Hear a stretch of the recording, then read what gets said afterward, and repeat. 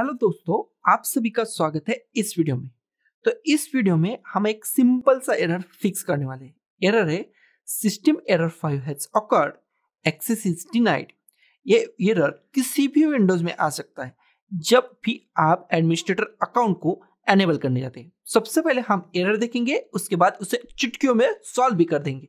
तो सबसे पहले आप जाएँगे स्टार्ट में टाइप करेंगे सी एम डी और कमांड प्रॉन्ट के ऊपर क्लिक कर देंगे।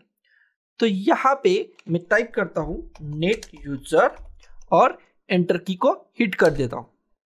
तो मैं यहाँ पे टाइप करता हूँ नेट यूज़र एडमिनिस्ट्रेटर स्टार और एंटर की के ऊपर प्रेस कर देता हूँ।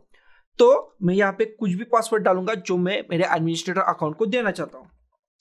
तो वही पासवर्ड को मैं फिर से एक बार रिपीट भी करूँगा, उसी को टाइप करूँगा एंटर करूँगा।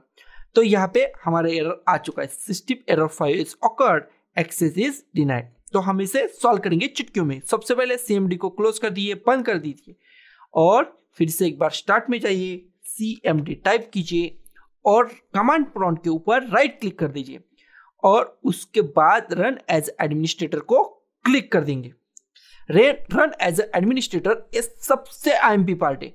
क्योंकि आपको एडमिनिस्ट्रेटर परमिशन चाहिए। एडमिनिस्ट्रेटर परमिशन के बगैर ये कमांड कभी भी वर्क नहीं करती। तो आप एडमिनिस्ट्रेटर परमिशन ले लीजिए, उसके बाद ही ये कमांड रन होगी। तो मैं फिर से टाइप करूँगा नेट यूज़र ओके ना, और मैं टाइप करूँगा नेट यूज़र एडमिनिस्ट्रेटर मैं चाहता हूँ मेरा एडमिनिस्ट्रेटर अकाउंट एनेबल हो जाए। तो मैं ये टाइप कर लेता हूँ एंटर कर लेता हूँ, और मैं कोई भी पासवर्ड देता हूँ, जो मुझको चाहिए वो। और मैं फिर से वो सिर्फ़ पासवर्ड को टाइप कर लेता हूँ।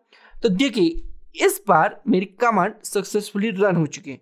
तो जैसे ही आपको ये एरर आए, आप सिर्फ़ एडमिनिस्ट्रेटर के तौर पर परमिशन ले लीजिए। एडमिनिस्ट्रेटर के तौर पर रन कीजिए आपका सीएमडी तो आपका प्रॉब्लम सॉल्व हो जाएगा। तो दोस्तों, इस वीडियो को देखने के लिए आप सभी का धन्यवाद। तो इस वीडियो को लाइक कीजिए शेयर कीजिए कमेंट कीजिए और इस चैनल को सब्सक्राइब करना कतई मत भूलिए। तो मिलते हैं हमारे अगले वीडियो में। तब तक के लिए बाय